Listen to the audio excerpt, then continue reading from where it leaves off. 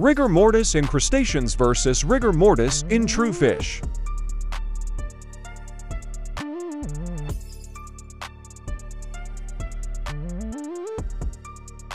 Number 1. Crustaceans rigor is alkaline, while fish is acidic.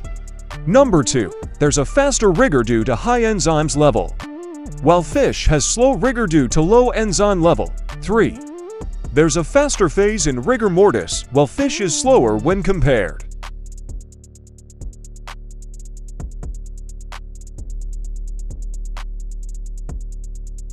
Number 4. Rigor concentration is weaker, while fish has a stronger concentration lastly. Fish gets its source from phosphocreatine and glycolysis, while crustaceans gets ATP from arginine and glycolysis.